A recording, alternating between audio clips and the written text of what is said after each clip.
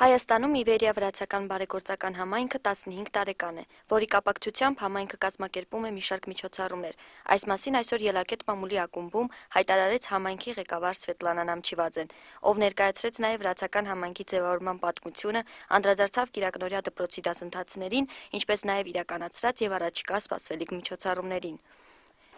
Այսօրվա մեր աշխատանքները շատ ծանրաբեռնված եւ բազմաթիվ են։ Միացյալ ինչ-որ միջոցառումներ ուրիշ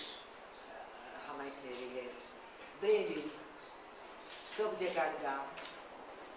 ամեն ձևի աջակցություն եք ստանում Հայաստանի կառավարությունից։ Այս մտան, այս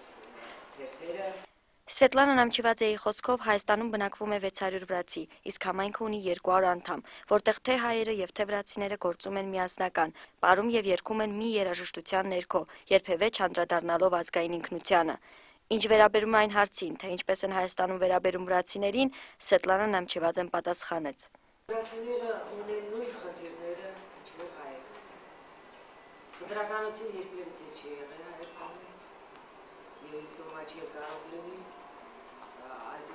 կարող ասել, որ մենք ազգային հարցեր խտրականության կամ ինչ-որ ուրիշ հարցեր չունենք։